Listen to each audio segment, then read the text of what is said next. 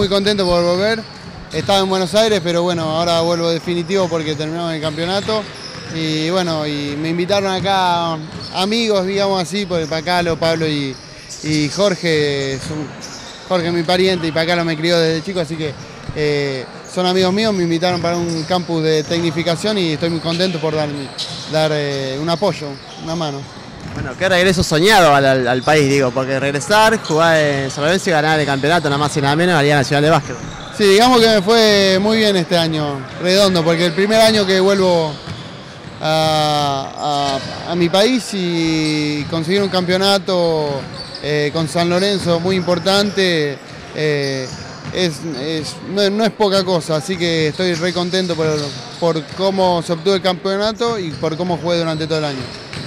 Cuando pasa esto, ¿no? Eh, solamente, bueno, todo está muy fresco, pero digo, quedaste en la historia de la ciudad por ganar la Liga Nacional de también la historia de un club como San Lorenzo que primera vez que sale campeón. Sí, fue, mira, San Lorenzo no tenía básquet desde hace 30 años más o menos, si no más, si no- creo que más.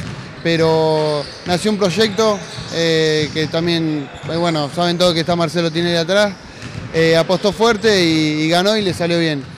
Estoy muy contento de haber participado en- eh, a la Liga Nacional con San Lorenzo, que es una institución eh, de las mejores que hay en el país y, y orgulloso por darle una alegría a la gente de, eh, de San Lorenzo. ¿Cómo se dio tu llegada a San Lorenzo? ¿Cómo decidiste participar en la Liga Nacional en ese club?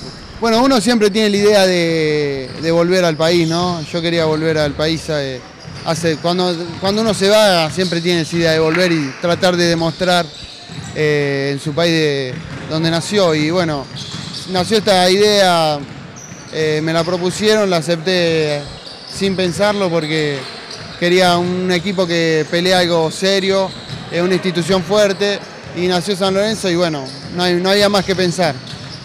¿Existe diferencia entre digo, el básquet europeo y el argentino? ¿Cómo fue esa adaptación? Sí, las diferencias existen, hay un poco, digamos, sí, son, son diferentes lo que digo yo, no se puede mucho comparar. Por ahí la calidad técnica de los jugadores es un poco más elevada allá, pero acá se juega un poco más fuerte, más rudo y no es fácil tampoco jugar acá, así que eh, hay que adaptarse como todo. Venir a transmitir también tus conocimientos a los más chicos. Sí, vengo a dar una mano, digamos, eh, vamos a ver si, si puedo ayudar desde, mi punto de vista, desde donde estoy, eh, eh, a la formación de algún joven.